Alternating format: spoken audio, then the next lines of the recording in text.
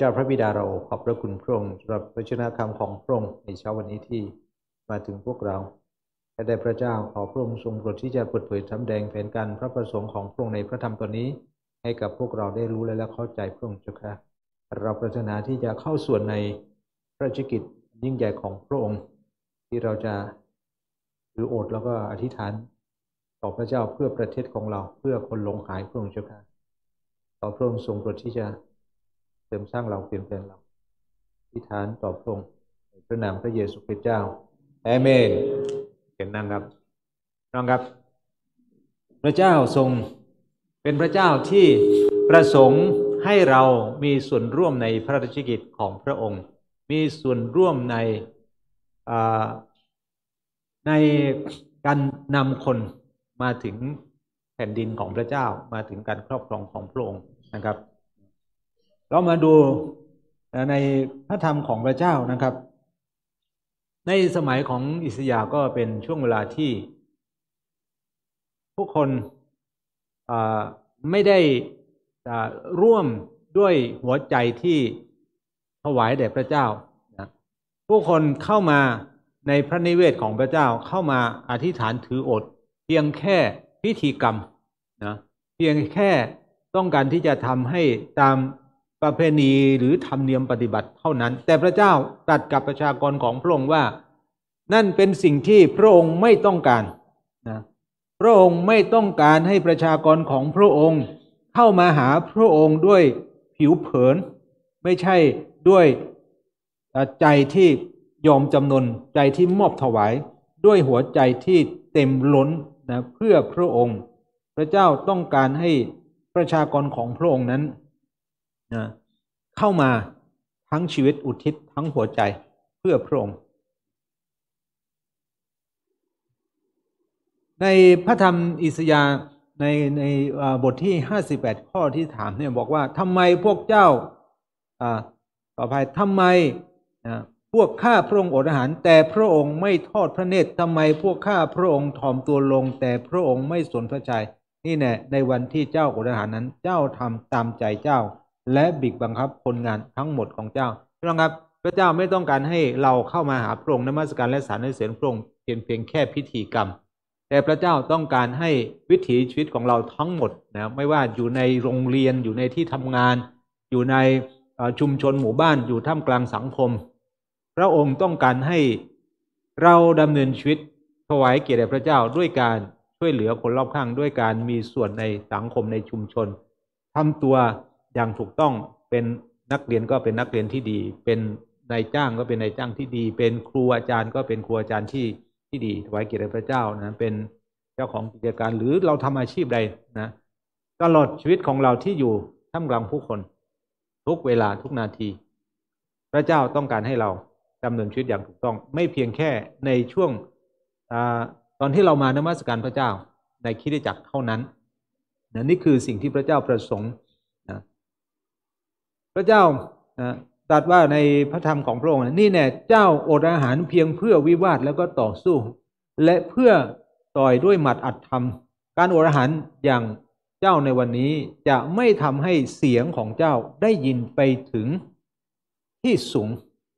ดังนั้นการถืออดอาหารที่ไม่เป็นที่พอพระทัยของพระเจ้า พระองค์ทรงไม่ทรงฟังคำอธิษฐาน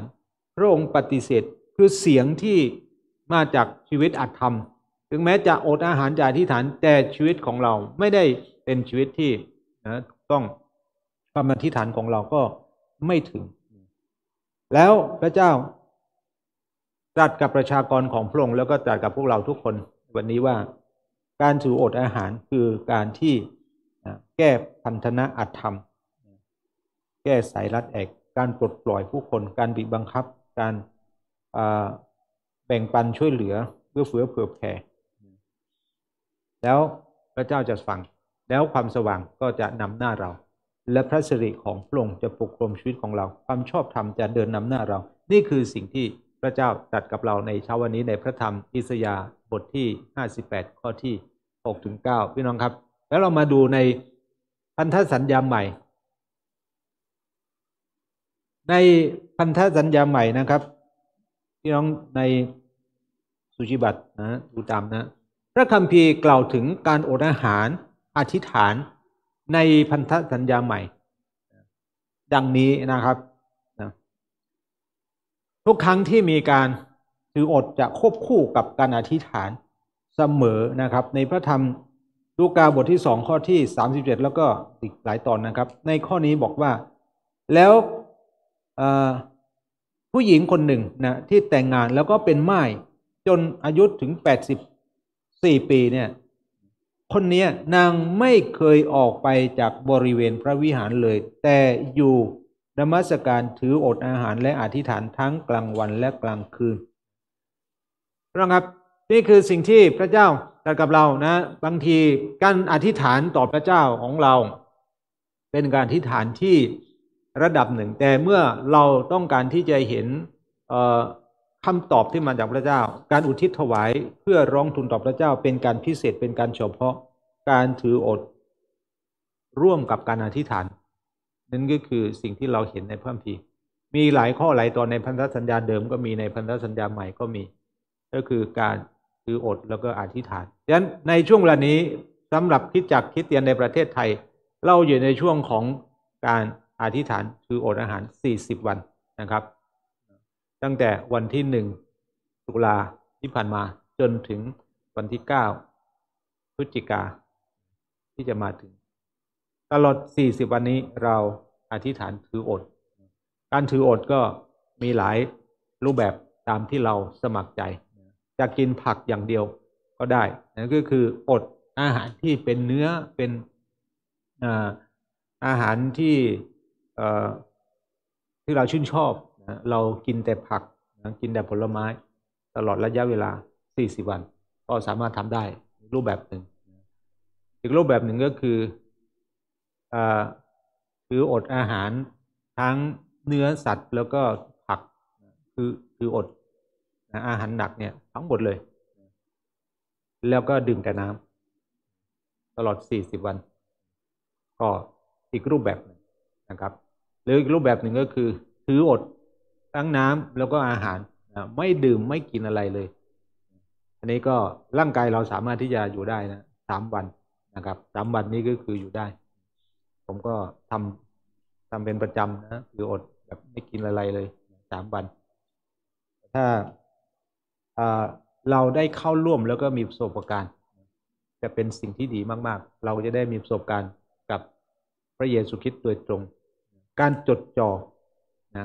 การที่ไม่ให้อาหารและสิ่งล่อลวงทั้งหลาย มารบกวนชีวิตของเราที่จดจ่อต่อพระเจ้า เมื่อเราอธิษฐานต่อพระองค์ในเป็นการเฉพาะนะครับสำหรับวันนี้ในช่วงเวลานี้ก็คือเราอธิษฐานเพื่อประเทศไทยเป็นการเฉพาะเพื่อให้ข่าวประเสริฐนั้นไปถึงคนไทยโดยเฉพาะดังนั้นนะพี่น้องสามารถที่จะเลือกได้นะครับ หรือจะถืออดบางมื้อนะครับนะสามมื้อที่เรากินเป็นประจำเนี่ยนะอาจจะทานสองมื้อนะคืออดหนึ่งมื้อ หรือคนที่ปกติก็ทานแค่สองมื้อนะเช้าเที่ยงตอนเย็นไม่ได้ทาน ก็จะ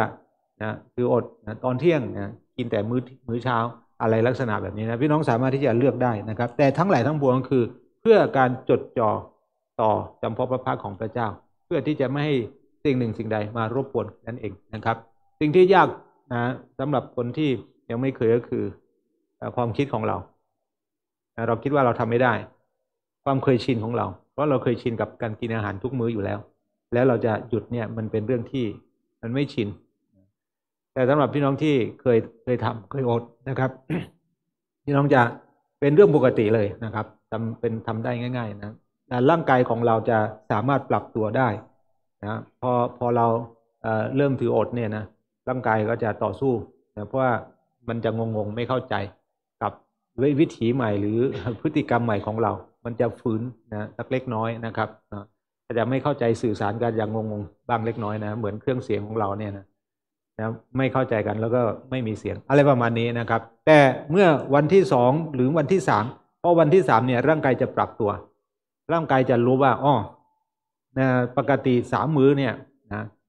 มื้อเย็นไม่มีอาหารเข้ามา ร่างกายก็จะปรับตัวอ๋อช่วงเวลานี้ไม่มีอาหารเข้ามา ร่างกายก็จะเอาพลังงานจากส่วนของที่สะสมไปแต่พระเจ้าสร้างร่างกายของเราอัศจรรย์นะเมื่อเราทานแล้วเราไม่ได้ใช้เนี่ยนะร่างกายก็นะตับตับซึ่งเป็นโรงงานแปรรูปนะสารอาหารที่มามาเป็นเป็นเอ่อเป็นเนื้อเป็นของแข็งเนี่ย ย่อยแล้วก็กลายเป็นธาตุอาหาร เข้ามาในร่างกายเนี่ยนะตับของเราก็ไปส่งไปตามที่ต่างๆนะถ้าเกิดว่าเหลือนะตับของเราก็เอามาเก็บสะสมไว้นะตับก็ส่งไปสะสมที่พุงนะเวลาทานแล้วไม่ได้ออกกำลังกายหรือไม่ได้ใช้เนี่ยพุงจะออกมาเป็นอันดับแรกนะ แล้วก็ตับโพกนะครับนะแล้วก็ขยายไปส่วนอื่นๆนะถ้าเราไม่ใช้งานนะเอ่อที่ยิ่งไม่ใช้งานเนี่ย มันก็จะยิ่งสะสมนะนอกจากพุงตับโพกแล้วก็จะไปส่วนต่างๆของร่างกายนะ แขนขา ทุกส่วนเลยนะใบหน้าก็จะเต็มไปด้วยอาหารที่สะสม แต่เมื่อเราไม่ทานนะครับ ไม่มีอาหารเข้ามาในร่างกายในกระเพาะของเราในท้องของเรา ร่างกายเนี่ยอัศจรรย์มากเลย มันก็รู้ว่าอ่าไม่มีของใหม่เข้ามา ก็ไปเอาของสะสมเนี่ยมาใช้ ก็จะเอาจากหน้าท้องของเรากระโพกของเราส่วนต่างๆของร่างกายของเราเนี่ยเอาไปใช้เอาไปใช้นะเมื่อตอนตอนเย็นไม่มี มันก็จะใช้ เมื่อตอนเย็นที่เคยเคยได้จากกระเพาะปกติก็ไปเอาจากที่อื่น แต่เมื่อตอนเที่ยงไม่มีนะร่างกายของเราก็ปรับตัวปรับตัวภายในสามวันถึงเจ็ดวัน ปรับตัวได้ แล้วเราก็จะอยู่ได้โดยที่รู้สึกว่ามันไม่ฝืนหรือมันไม่เป็นอะไรที่ผิดธรรมชาตินะมันจะกลายเป็นธรรมชาติแล้วก็เราจะอยู่ได้นะครับ นี่เป็นประสบการณ์ส่วนตัวที่ผมทำก็ก็เป็นแบบนี้นะครับ เราก็สามารถที่จะทำทุกสิ่งทุกอย่างได้เป็นปกตินะดังนั้นผมเองก็เลือกที่จะ ไม่ไม่ทานอาหารที่เป็นเป็นสารที่มันมันติดเราอะอย่างเช่น กาแฟชาพวกนี้นะเพราะว่าสิ่งเหล่านี้เราไม่ทานแล้วมันจะรบกวนเราเยอะเยอะกว่าข้าวเยอะกว่าอาหารปกติทั่วไป ผมก็จะไม่ทานเพราะว่าจะไม่ได้รบไม่ต้องรบกวนเยอะเกินไปในการที่ถืออดอาหารไม่ทานอะไร ในช่วงเวลา 40 วันนะครับนะถืออดเป็นประจำนะครับดังนั้น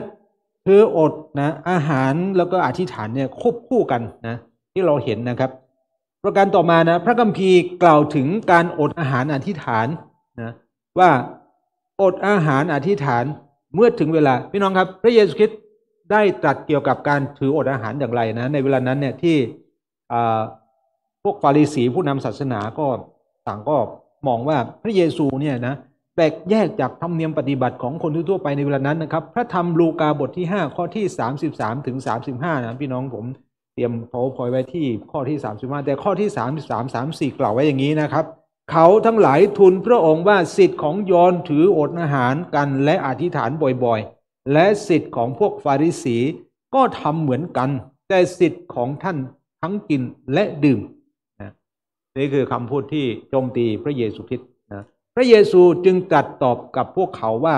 ท่านจะให้เพื่อนๆของเจ้า เพื่อนๆของเจ้าบ่าวโอนอาหารขณะที่เจ้าบ่าวยังอยู่กับเขาอย่างนั้นหรือข้อที่สามสิบห้าพี่น้องครับ แต่วันที่เจ้าบ่าวจะต้องจากสหายไป จะมาถึงและในวันนั้นเขาจะถืออดอาหารนะครับในช่วงเวลาที่พระเยซูคริสต์ใช้เวลากับสาวกของพระองค์ พระองค์ก็ให้สาวกนั้น ได้ร่วมกินร่วมดื่มกับพระองค์นะซึ่งสำหรับธรรมเนียมปฏิบัติของคนยิวเนี่ยเขาจะมีการถืออดนะ บางบางคนก็ถืออดนะอาทิตย์หนึ่งนั้นหนึ่งวันสองวันสามวันก็แล้วแต่นะเขาก็ถือกัน แล้วก็เป็นอะไรที่โอ้โหใครที่ถืออดหรือใครที่ทำได้ได้มากก็ดูเหมือนว่าจะเป็นคนที่เคร่งในไฟจิตวิญญาณมากนะเป็นคนที่เอาจริงเอาจังเป็นคนที่เข้าถึงธรรมะอะไรลักษณะแบบนี้ แต่พระเยซูคริสต์นะให้สาวกของพระองค์ได้รู้ว่าแท้จริงๆแล้ว การถือปฏิบัติเหล่านั้นเนี่ยเป็นการทำเพื่อหน้าตาหรือเพื่อชื่อเสียง พระเจ้าไม่ได้ประสงค์ที่จะให้เราถืออดอาหารเพื่อโอ้อวดหรือเพื่อที่จะให้ตัวเองดูดีหรือมีความเชื่อที่เข้มแข็งกว่าคนอื่นๆ ไม่ใช่ พระเยซูคริสต์ตรัสว่าเมื่อถึงเวลาที่จะต้องถืออดก็จะถืออด เมื่อถึงเวลาที่จะอธิษฐานแล้วก็อดอาหาร เวลานั้นเนี่ยจะมาถึงและสาวกของพระองค์ก็จะอธิษฐานถืออด แต่ในเวลาที่พระเยซูคริสต์อยู่กับสาวกของพระองค์ พระองค์ต้องการที่จะใช้เวลากับสาวกของพระองค์ ให้มากที่สุดนะอยู่ด้วยกันมากที่สุดพี่น้องครับ แท้ที่จริงแล้ว พระเยซูคริสต์อดอาหารไหมพระเยซูอดอาหารตอนที่ไปอยู่ในถิ่นทุรกันดารสี่สิบวัน ไม่ทานนะอาหารแล้วก็ซาตานก็มาล่อลวง ถ้าเป็นลูกของพระเจ้าจริงก็เสกก้อนหินเนี่ยให้เป็นขนมปังสิ พระเยซูคริสต์ตรัสตอบว่า มนุษย์จะดำรงชีวิตด้วยอาหารอย่างเดียวก็หาไม่ได้ แต่ดำรงด้วยถ้อยคำที่ออกมาจากพระโอษฐ์ของพระเจ้าทุกถ้อยคำพระเยซูคริสต์ทรงสอนสาวกในเรื่องของการถืออด ว่าท่าทีในการถืออดนั้นถืออดยังไง พี่น้องครับ พระเยซูคริสต์ทรงให้ความสำคัญกับการถืออด แต่พระองค์ไม่ประสงค์ให้การถืออดนั้นเพื่อที่จะโอ้อวดหรือให้ตัวเองนั้นมีชื่อเสียงหรือดูดีกว่าใคร แต่เมื่อถึงเวลาเขาจะถืออดแล้วเวลาไหนพี่น้องครับ เรามาดูในข้อต่อมานะครับ ในพระธรรมกิจการบทที่สิบสามข้อที่สามนะครับ เราพบว่าสาวกของพระองค์ผู้ที่เชื่อในพระองค์ อธิษฐานนะอดอาหารอธิษฐานเพื่อการประกาศข่าวประเสริฐพี่น้องครับ เมื่อพระเยซูคริสต์ได้จากพวกเขาไป พวกเขาเป็นสักขีพยานออกไปประกาศข่าวประเสริฐของพระองค์ ไปให้ผู้คนที่ยังไม่ได้ยินได้ฟังข่าวประเสริฐ ได้รู้ได้เห็นได้ยินได้ฟังข่าวประเสริฐของพระองค์ พวกเขาในเวลานั้นพวกเขาก็ถืออดอาหารและก็อธิษฐาน ในพระธรรมกิจการบทที่ 13 ข้อที่ 3 กล่าวว่า หลังจากที่ถืออดอาหารและอธิษฐานแล้ว เขาทั้งหลายวางมือบนตัวบารนาบัตกับซาโล แล้วก็ส่งท่านทั้งสองไปออกไปประกาศพี่น้องครับในเวลานั้นข่าวประเสริฐถูกประกาศแล้วก็มีคิดจักรของพระเจ้าเกิดขึ้น แล้วก็ผู้นำตัวแทนของคิดจักรก็ร่วมมือกันนะอธิษฐานร้องทูลต่อพระเจ้า ไม่ได้เป็นการอธิษฐานเฉยๆแต่เป็นการอธิษฐานถืออดอาหาร เพื่อการประกาศข่าวประเสริฐ เพื่อการส่งคนออกไป ประกาศเรื่องราวของพระองค์ไปยังที่ที่ยังไม่มีการได้ยินได้ฟัง ยังไม่มีการประกาศข่าวประเสริฐพี่น้องครับ นี่คือเวลาที่จะต้องถืออดอาหารสำหรับประเทศไทยวันนี้ นี่คือเวลาสำหรับคิดจากคริสเตียนไทยที่จะอดอาหารอธิษฐานเพื่อข่าวประเสริฐในประเทศนี้พี่น้องครับข่าวประเสริฐเข้ามาในประเทศไทยจะสองร้อยปีแล้ว แต่คนไทยได้ยินได้ฟังข่าวประเสริฐเรื่องราวของพระเยซูคริสต์ยังไม่ถึงหนึ่งเปอร์เซ็นต์ พี่น้องครับ เรายังจะเฉยเฉยต่อผู้คนมากมายที่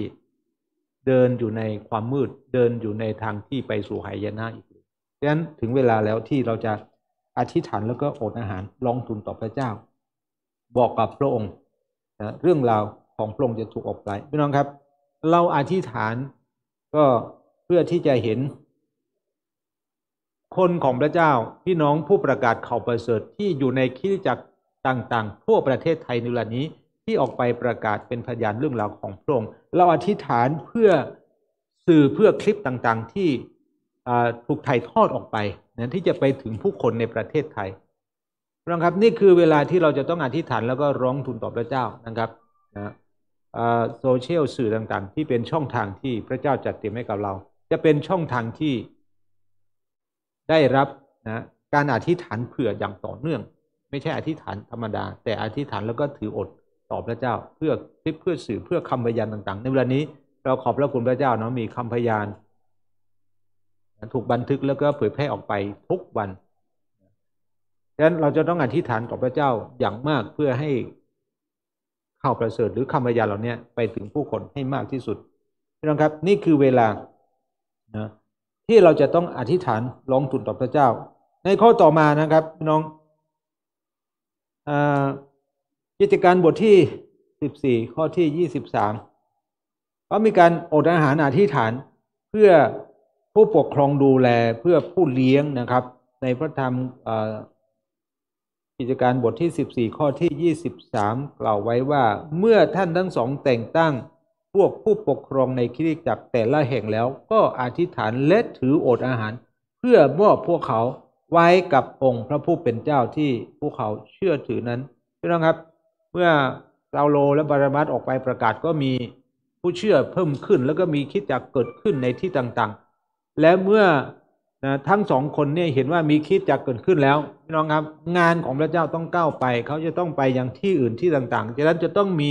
ผู้ดูแลผู้ปกครองในคิดจักฉะนั้นก่อนที่เขาจะอมอบหมายแล้วก็ให้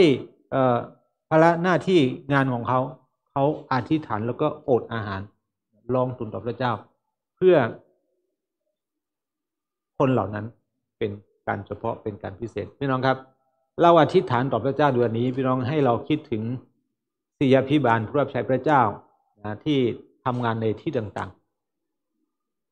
แล้วการประกาศข่าวประเสริฐของพระเจ้าที่กระจายออกไปเป็นกลุ่มนะเป็นคนที่อยู่ในชุมชนหมู่บ้านเป็นกลุ่มต่างๆ เพิ่มขึ้นอย่างต่อเนื่อง เราต้องการมีผู้นำผู้เลี้ยงในกลุ่มเหล่านั้นเอเมนไหมครับนะดังนั้นเราจะต้องอธิษฐานต่อพระเจ้า เพื่อที่จะมีคนเนี่ยเพิ่มขึ้นมาก แล้วก็ผู้รับใช้ของพระเจ้าถวายตัวที่ตัวมากขึ้นมากขึ้นลองถ้าเราไม่อธิษฐานแล้วก็ถืออดนะ มีสงครามไผ่วิญญาณในการโจมตีเนี่ยเยอะมาก แล้วก็ผู้คนที่ได้ยินได้ฟังข่าวประเสริฐเขาถูกโจมตีนะถูกการต่อสู้ขัดขวางการข่มเหงเขาไม่สามารถที่จะยืนหยัดอยู่ได้ แล้วก็ก็วันหนึ่งเขาก็จะพ่ายแพ้แล้วก็ล้มลง แล้วก็ทิ้งทางของพระเจ้า แต่เราไม่ต้องการให้เกิดขึ้นแบบนั้นดังนั้นการอธิษฐานคืออดเป็นเรื่องที่สำคัญมากๆ ที่เราเห็นในพระคำของพระเจ้า เป็นเรื่องที่สำคัญที่ที่เสียนทุกคนควรให้ความสำคัญมาก ๆ การถืออดจะต้องเป็นวิถีชีวิตของเราน้องครับ เรามาดูกันต่อนะ พระคำของพระเจ้าพระคัมภีร์กล่าวถึงการอดอาหารที่ฐานอย่างไรในพระธรรมมัทธิวบทที่6ข้อที่18ถึงข้อที่16ถึง18นะครับนะพระเยซูคริสต์ได้ให้แนวทางกับการถืออดอาหาร อธิษฐานถืออดต้องใจถ่อมแล้วก็ชื่นชมยินดีนะครับ ในข้อที่16นะ ผมอ่านให้พี่น้องฟังนะครับ เมื่อท่านทั้งหลายถืออดอาหาร อย่าทำหน้าเศร้าหมองเหมือนพวกคนหน้าซื่อใจคดเพราะพวกเขาทำหน้าให้มอมแมม เพื่อจะให้คนเห็นว่าเขาถืออดอาหาร เราบอกความจริงแก่พวกท่านว่าพวกเขาได้บำเพ็ญขออภัยได้บำเหน็จของเขาแล้ว แต่ท่านเมื่อถืออดอาหาร จงลังหน้าและเอาน้ำมันชโลมศีรษะ พื่อคนทั้งหลายจะไม่รู้ว่าท่านถืออดอาหาร แต่ให้ปรากฏแก่พระบิดาของท่านผู้สถิตในที่ลับ และพระบิดาของท่านผู้ทอดพระเนตรเห็นในที่ลับจะประทานบำเหน็จแก่ท่าน พระเยซูคริสต์ได้ให้มุมมองกับเราว่า การถืออดอาหารนั้นให้เราทำต่อจำเพาะพระพักของพระเจ้านะ เราไม่จำเป็นที่จะต้องประกาศไม่ไม่จำเป็นที่จะต้อง แต่เราสามารถที่จะหนุนจิตชูใจให้กับคนรอบข้างให้กับคนใกล้ชิดสนิทกับเราได้ ว่าเราจะเชิญชวนกันนะอธิษฐานถืออดนะนะสี่สิบวันนี้เราจะถืออดแบบไหน เราสามารถที่จะทำได้ แต่เราไม่สามารถที่พระเยซูคริสต์ไม่ต้องการให้เราทำเพื่อที่จะแสดงหน้าตาของเรานะครับ เวลาถืออดอาหารก็เหมือนกับปกติธรรมดาเหมือนกับปกติธรรมดา แต่พี่น้องของเราอาจจะแปลกใจหรืออาจจะจะรู้ตอนที่เราไม่ได้ทานอาหารกับเขา เราอาจจะละเว้นอาหารบางมื้อ เราอาจจะละเว้นอาหารทุกมื้อ เราจะไม่ได้ทานอาหารร่วมกับพี่น้องของเราที่เราเคยทานอาหารร่วมกัน เพียงแค่นั้นเอง แต่เราทำด้วยใจถ่อมด้วยความชื่นชมยินดี เราไม่ได้ทำเพราะว่าถูกบังคับ โอ้ สี่สิบวันนะคิดเทียนจะต้องถืออดนะ ถ้าไม่ถืออดเนี่ยถูกประจานหรือถูกชี้หน้าหรือถูกอะไรต่างๆ พระเจ้าไม่ต้องการให้เราถูกกดดันแบบนั้น พระเจ้าต้องการให้เราทำด้วยความสมัครใจด้วยใจที่ชื่นชมยินดีนะด้วยความเต็มใจนะครับ ขอพระเจ้านำเรานะครับพี่น้องครับ เรามาดูด้วยกันต่อนะ ในพระธรรมอิสยาห์ที่เราได้อ่านตอนต้นนะครับ เราจะอธิษฐานถืออดเพื่ออะไร พี่น้องครับ ถ้าเราไม่มีจุดประสงค์เป้าหมายในการถืออดนะถ้าประเทศไทยไม่ได้อยู่ในสายตาของเราคนไทยที่ยังไม่ได้ความรอดไม่มีไม่มีความสำคัญในชีวิตของเรา หรือข่าวประเสริฐไม่มีความสำคัญต่อต่อชีวิตของเรา เราอาจจะรู้สึกว่าการอธิษฐานถืออดก็เป็นเรื่องที่ไม่จำเป็นหรือไม่สำคัญสำหรับชีวิตของเรานะครับ แต่ถ้าเกิดว่าเราเห็นว่าประเทศไทยคนไทยเข้าประเสริฐต้องไปถึงประเทศไทย นี่คือสิ่งที่เป็นจุดประสงค์ของเรานะเราจะรู้ว่าเราจะอธิษฐานอดอาหารเพื่ออะไรนะครับ ประการแรกนะครับก็คืออธิษฐานถืออดเพื่อนำการปลดปล่อยนะเอสยาบทที่58ข้อที่6บอกว่าเราเลือกการอดอาหารอย่างนี้ไม่ใช่หรือคือการแก้พันธนะอัตธรรม การแก้สายรัดของแอกการปลดปล่อยผู้ถูกบิกบังคับ ให้เป็นอิสระและการหักแอกทั้งหมดเสียพี่น้องครับ ประเทศไทยคนไทยอยู่ในการครอบงำของความกลัวของความมืดเนี่ยมาอย่างยาวนานนะคนไทยเนี่ยกลัวเจ้ากรรมในเวรกลัว การเวียว่ายแต่เกิดกลัวบาปกลัวกลัวเจ้าที่เจ้าทาง กลัวพูดผีปีศาจวิญญาณชั่วกลัวเทพผู้ของศักดิเทพทั้งหลาย นี่คือความกลัวที่อยู่ในประเทศของเราฉะนั้น สิ่งที่พระเจ้าประสงค์แล้วก็ต้องการให้คนไทยได้รับนั่นก็คือ การปลดปล่อยเห็นไหมครับ การปลดปล่อยอธิษฐานถืออดเพื่อการปลดปล่อยมาถึงประเทศไทยมาถึงคนไทย ให้คนไทยได้อิสรภาพได้หลุดพ้นนะได้แก้พันธนะอัธรรมพี่น้องครับ ในเวลานี้เรามาถึงอิสรภาพแล้วเอเมนไหมครับ เรามาถึงการปลดปล่อยแล้ว เรามาถึงการหลุดพ้นแล้วชีวิตของเรามีอิสระภาพแล้ว เราหลุดพ้นจากการครอบงำของโลกสิ่งของต่าง ๆ หลุดพ้นจากทุกสิ่งทุกอย่างเรามีอิสระภาพในการใช้ชีวิตในทางของพระเจ้าแล้วในเวลานี้และเราต้องการเห็นคนอีกมากมาย ได้รับการปลดปล่อยเช่นเดียวกันเอเมนไหมครับนะยังมีบางสิ่งบางอย่างไหมที่ผูกมัดเราในวันนี้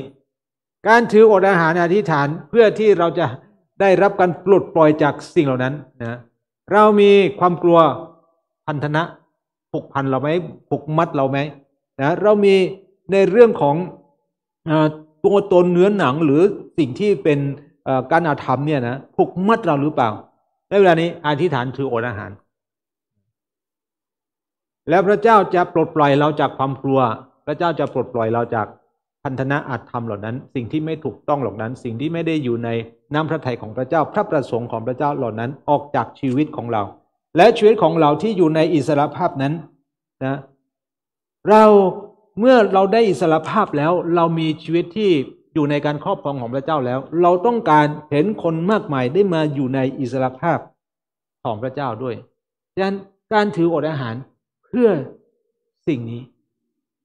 เพื่อการปลดปล่อยมาถึงประเทศไทย เพื่อการปลดปล่อยมาถึงผู้คนมากมาย ที่ถูกพันธนาการในเวลานี้ขอพระเจ้านำเรานะครับ พระเจ้าทรงประสงค์ที่จะให้ประชากรของพระองค์คิดจักรของพระองค์นำการปลดปล่อยไปถึงชุมชนทุกที่ทุกแห่งทั่วประเทศไทยพี่น้องครับ นี่คือการอธิษฐานที่เราจะต้องทำร่วมกัน เพื่อคิดจักรทั่วประเทศ ที่จะหลุดพ้นนะคิดจักมีเสรีภาพมีสารภาพในการประกาศแล้วก็เป็นพยาน ในเวลานี้ เราขอบพระคุณพระเจ้าสำหรับคิดจักทุกที่ทุกแห่งทั่วประเทศไทยที่หลุดออกจากกรอบของคณะของสังกัด แล้วก็มารวมกันเป็นน้ำหนึ่งใจเดียวกัน เป็นวาระแห่งชาติเป็นแผนชาติเพื่อประกาศข่าวประเสริฐให้กับคนไทย นี่คือก้าวที่สำคัญมากๆ และผมเชื่อว่าเมื่อคิดจักรวมกันเป็นน้ำหนึ่งใจเดียวกันนะมีอิสระภาพในการประกาศเรื่องราวของพระเจ้า พระองค์จะอวยพรให้ อิสรภาพไปสู่คนไทยจำนวนมากมาย คนไทยในทุกที่ทุกแห่งทั่วประเทศไทยเอเมนไหมครับนะนี่คือจุดประสงค์เป้าหมายพี่น้องครับ ประการต่อมาคือการอธิษฐานถืออด เพื่อการเอื้อเฟื้อเผื่อแผ่แบ่งปันที่จะเกิดขึ้นนะคือการแบ่งอาหารให้กับคนที่หิว คนยากจนก็มีที่มีที่อยู่นะคนที่ไม่มีเสื้อผ้าไม่มี เครื่องนุ่งห่มก็ได้มีเครื่องนุ่งห่มนะแล้วก็ในเครือญาติในพี่น้องก็จะไม่มีไม่มีสิ่งใดที่ทำให้เกิดความแตกแยกบู่เครือญาติขอพระเจ้านำนั้นเราจะอธิษฐานต่อพระเจ้าเพื่อเรื่องนี้นะการเอื้อเฟื้อเผื่อแผ่แบ่งปันการช่วยเหลือกันและกันพี่น้องครับ จะไม่มีความเห็นแก่ตัวนะในประเทศของเรา รือในชุมชนหมู่บ้านในพื้นที่ของเราอีกต่อไป เราที่ฐานต่อพระเจ้าเพื่อคนที่ยากลำบากได้รับการช่วยเหลือ เราอยู่ในพื้นที่อยู่ในความสะดวกสบาย แต่เราไม่รู้ว่ามีกี่คนมีอีกจำนวนแค่ไหนที่เขาไม่มีไรายได้ ไม่มีอาหารจะกินนะเขายังอดมื้อกินมื้อเขายังลำบากเงินนี้ ต้องการความช่วยเหลือพี่น้องครับ เราไม่ต้องการเห็นคนที่เอ่อรวยล้นฟ้าแล้วก็มีชีวิตความเป็นอยู่ที่ดี แต่สิ่งเหล่านั้นไม่ได้ไปเอื้อเฟื้อเผื่อแผ่แบ่งปันให้กับคนที่ยากลำบากดังนั้นเราต้องการที่จะเห็นความเท่าเทียมกันเกิดขึ้น ในเวลานี้นะประเทศไทยถูกขย่าแล้วก็ถูกขยับให้มาอยู่ในในพระคำของพระเจ้า การเอื้อเฟื้อแผ่แล้วก็การช่วยเหลือกันจิตสาระเนี่ยกำลังเกิดขึ้นอธิษฐานต่อพระเจ้ามากๆนะคนที่มีที่ดินเยอะแยะมากมาย แล้วก็ครอบครอง ก็มีเรื่องของกฎหมายการถือครองที่ดินโดยไม่ได้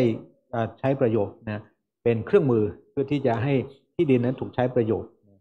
เพื่อแบ่งปันให้กับคนที่ไม่มีที่ดินทำกินเนี่ยมีที่ดินทำกินนะครับ ประการต่อมานะครับ อธิษฐานต่อพระเจ้าถืออด พี่น้องครับเพื่อนะที่จะได้ความสว่างจากพระเจ้านะการเยียวยารักษาในข้อที่ 8 นะ อิสยาบทที่ 58 ข้อที่ 8 บอกว่า แล้วความสว่างจะพุ่งออกมาเพื่อเจ้าเหมือนรุ่งอรุณ และการรักษาแผลของเจ้าจะมีขึ้นอย่างรวดเร็ว ความชอบช้ำการของเจ้าจะเดินนำหน้าเจ้า และพระสิริของพระยาเวจะระวังหลังเจ้าพี่น้องครับ ในเวลานี้คนไทยอยู่ในความเศร้าโศกเสียใจอยู่ในสภาพที่ย่ำแย่มีบาดแผลทางจิตใจบาดแผลในในชีวิตนะพระเจ้าให้เราอธิษฐานถืออดเพื่อที่พระเจ้าจะเยียวยารักษา พระเจ้าจะให้แสงสว่างกับคนไทย กับคนที่ถูกกระทำเราพบว่า คนที่มีบาดแผลเยอะมากนะครับ เหตุการณ์ที่เกิดขึ้นที่จังหวัดหนองบัวลำพูก็เป็นเหตุการณ์หนึ่งที่เรารู้ว่าคนที่ก่อเหตุนั้นเขาอยู่ในสภาพที่เครียดแล้วก็เหมือนกับถูกกระทำนะเขาก็เลยแสดงออกด้วยความไม่ยั้งคิด แล้วก็เกิดความสูญเสียเกิดขึ้น และผมเชื่อว่ามีเคสแบบนี้ลักษณะแบบนี้อยู่เยอะแยะมากมาย ดังนั้นประเทศไทยต้องการการเยียวยาพี่น้องครับ เราจะต้องอธิษฐานถืออดเพื่อประเทศไทยจะได้รับการเยียวยารักษาจิตใจของผู้คนในประเทศนี้ ประเทศนี้บอบช้ำมามากนะเนื่องด้วยการเมืองการปกครองที่ทำให้เกิดการสูญเสีย เนื่องด้วยการบริหารราชการแผ่นดินที่ จะต้องปรับปรุงแก้ไข เนื่องด้วย คอร์รัปชันเนื่องด้วยยาเสพติดการพนัน อบายามุกต่างๆ เยอะแยะมากมายดังนั้นคนไทยถูกโจมตีถูกลุมเล้าด้วยปัญหาต่างๆ สารพัดซึ่งทั้งหลายทั้งปวงซาจารวิญญาณชั่วเนี่ยเป็นผู้อยู่เบื้องหลังสิ่งเหล่านี้ทั้งนั้น มันใช้ผลประโยชน์คอร์รัปชันเป็นเครื่องมือ มันใช้ยาเสพติดนะความโลภเป็นเครื่องมือที่จะทำลายคนไทยดังนั้นคริสเตียนทุกคนจะต้องลุกขึ้นมาอธิษฐานถืออดเพื่อการเยียวยารักษา คนไทยอยู่ในความมืด คนไทยอยู่ในสภาพที่มองไม่เห็น มองไม่เห็นเป้าหมาย มองไม่เห็นทาง มองไม่เห็นชีวิตเยอะมาก ฉะนั้นอธิษฐานต่อพระเจ้าร้องทูลต่อพระเจ้า เพื่อพระเจ้าจะให้ความชอบธรรมก็คือโดยพระเยซูโดยไม้กางเขนของพระองค์มาถึงประเทศไทย ไม่ใช่ด้วยการกระทำของมนุษย์นะเพื่อพระสิริของพระองค์จะมาปกคลุมประเทศนี้ นะเพื่อพระสิริของพระองค์จะมาถึงผู้คนในประเทศไทยพี่น้องครับ เราอธิษฐานถืออดนะอย่างถูกต้องตามน้ำพระทัยของพระเจ้านะประการที่สี่เพื่อพระเจ้าจะทรงตอบคำร้องทูลของเราพี่น้องครับ ไม่ใช่กดดันพระเจ้า ไม่ใช่อธิษฐานถืออดเพื่อที่จะประท้วงพระเจ้า เพื่อที่จะบังคับพระเจ้าไม่ใช่นะครับ แต่การอธิษฐานถืออดอย่างถูกต้องตามพระประสงค์ของพระเจ้า เพื่อพระเจ้าจะได้ยินเสียงของเรา และพระเจ้าจะตอบคำอธิษฐานของเรา ในข้อที่ 9 บอกว่าเมื่อเจ้าทูลพระยาเวจะทรงตอบเมื่อเจ้าร้องทูลพระองค์จะตรัสว่าเราอยู่ที่นี่ ถ้าเจ้าจะเอาแอกออกไปจากท่ามกลางเจ้า รวมทั้งการที่การธรรม พระเจ้าจะตอบคำอธิษฐานของคนที่อดอธิษฐานอย่างถูกต้องตาม พระทัยของพระองค์เอเมนไหมครับนะพี่น้องครับในช่วงวันนี้ เราจะอธิษฐานต่อพระเจ้าร่วมกัน ร้องทูลต่อพระเจ้าร่วมกัน ให้เราได้คิดถึงการอธิษฐานถืออดเพื่อประเทศของเรา เพื่อผู้คนหลงหายพี่น้องครับนะวันนี้เรามีแผน มีเป้าหมายที่จะถืออดกี่มื้อในแต่ละวันเพื่อประเทศของเรา เพื่อข่าวประเสริฐ เพื่อคนหลงหาย เพื่อการเยียวยารักษา เพื่อการช่วยกู้ เราจะถืออดในรูปแบบแบบไหน เพื่อจดจ่ออยู่ที่พระเจ้า เพื่ออธิษฐานร้องทุนนะเพื่อพระประสงค์ของพระองค์ในประเทศไทย เราจะอธิษฐานแล้วก็อดอาหารมื้อไหนบ้าง เพื่ออุทิศ คำอธิษฐานร้องทุนต่อพระเจ้า เพื่อศิยาพิบาลของเรา เพื่อผู้รับใช้พระเจ้า ทั่วประเทศ เพื่อผู้ประกาศข่าวประเสริฐพี่น้องครับนี่คือสิ่งที่พี่น้องออพวกเราทุกคนจะตอบสนองร่วมกันในวันนี้นะครับ ให้เรายืนขึ้นด้วยกัน ในที่ผ่านมาเราจะไม่ได้สนใจแล้วก็ไม่ได้ให้ความสำคัญกับการอดอาหารอธิษฐาน เราไม่ได้ ให้อยู่ในตารางเวลา ขอบคุณทุกท่านที่รับชมคำเทศนาของเรา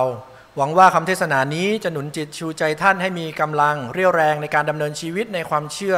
และได้ข้อคิดจากพระคำไปใช้ในการดำเนินชีวิต ขอให้ชีวิตของท่านสูงขึ้นทางเดียวครับสำหรับพี่น้องที่ต้องการรู้จักกับพระเยซูคริสต์มากขึ้น ท่านสามารถเข้ามาในคริสตจักรของเรา หรือคริสตจักรใกล้บ้านท่าน พี่น้องคริสเตียนเรายินดีต้อนรับท่านเสมอครับสำหรับพี่น้องคริสเตียนขอให้เราร่วมกันแบ่งปันข่าวดี ให้กับคนรอบข้าง คนในสายสัมพันธ์ ให้ได้พบกับความรักของพระคริสต์และร่วมกันรับใช้พระเจ้า เสริมกำลังกันและกัน เพื่อคริสตจักรทุกที่ทุกแห่งทั่วประเทศ เข้มแข็งไปด้วยกันครับ ขอพระเจ้าอวยพรครับ